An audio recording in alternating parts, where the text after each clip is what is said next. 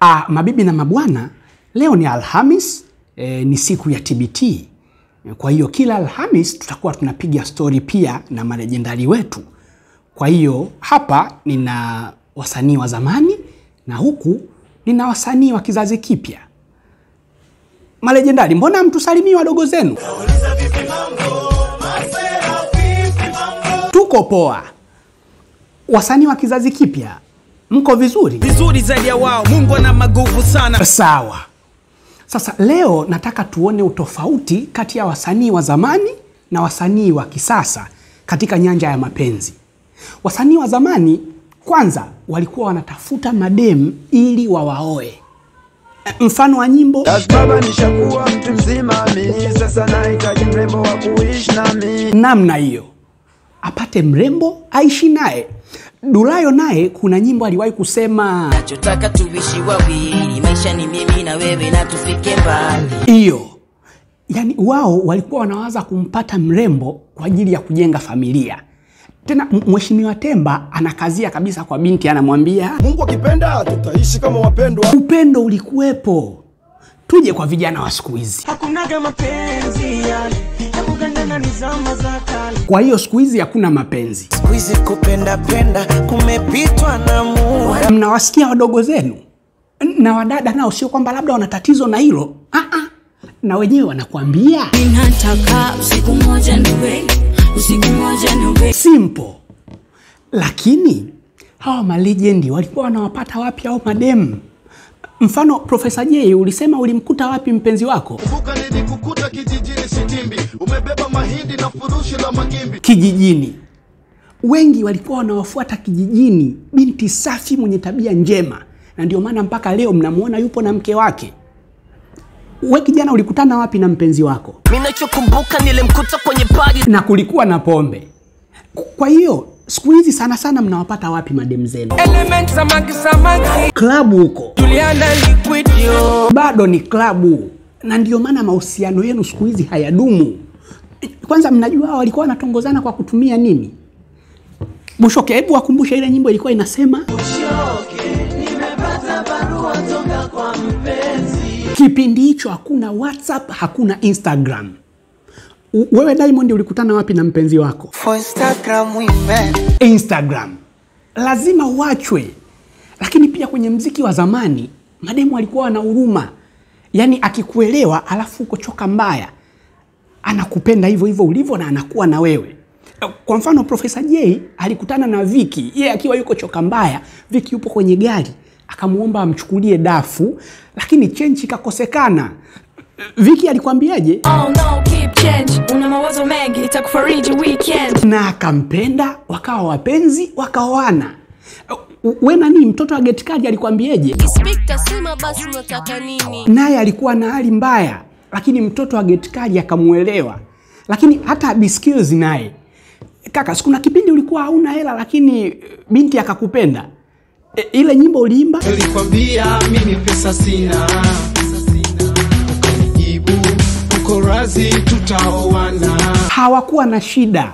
Yani wao walikuwa wanaangalia upendo sasa njoo kwa mabinti wa siku hizi. Nani? Mtu akiwa ana hela atakupata. Pesa? Mbele. Lakini wanawake wa zamani ukimwambia ukweli kuhusu hali yako ya kiuchumi anakuelewa na anakupenda. Cheleamani hivi ile nyimbo uliimba ukamwambia? Naomba unipende kama nilivyo sera siniache ukweli na uwazi. Kwa sababu mtu huoni dalili ya kufanikiwa lakini mwanamke anakupenda sasa tuje siku hizi. Yaani lazima kwanza uambie uongo au mfariji kwamba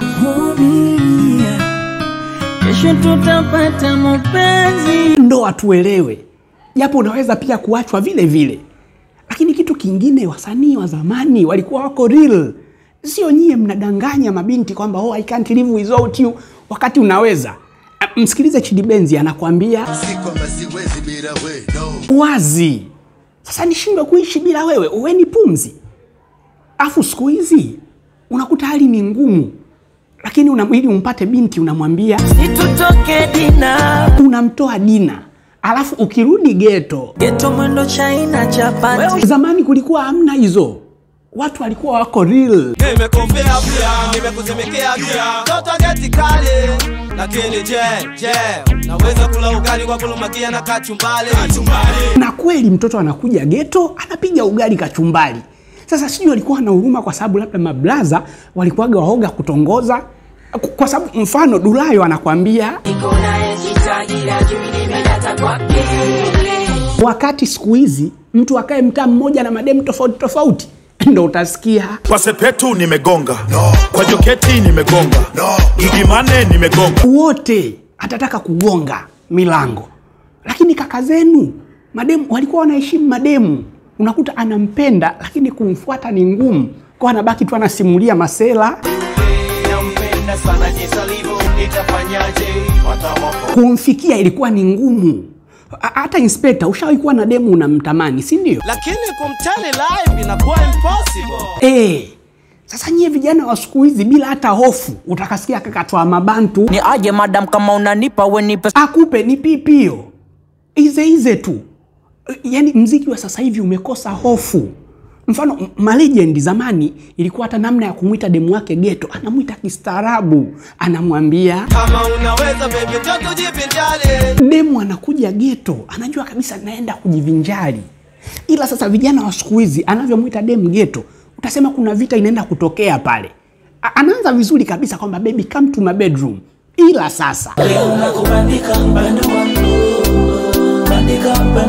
ni gundi? Hapana mwingine anakwambia leo majirani mpaka jina tanijua sopo kati ya mapaja tunanyonya mpaka pua. mnaona? Umnyonye mtoto wa watu pua akose pumzi afe. Fanya tendo kama kaka zako. Wanakwambia njoo geto tujivinjari. Basi. Lakini kitu kingine ni namna mambo yanavyokuwa hawa watu wakiachana na wapenzi wao. Wasanii wa zamani ilikuwa akigombana wakiachana na mpenzi wake anakwambia anataka yaishe waendelee.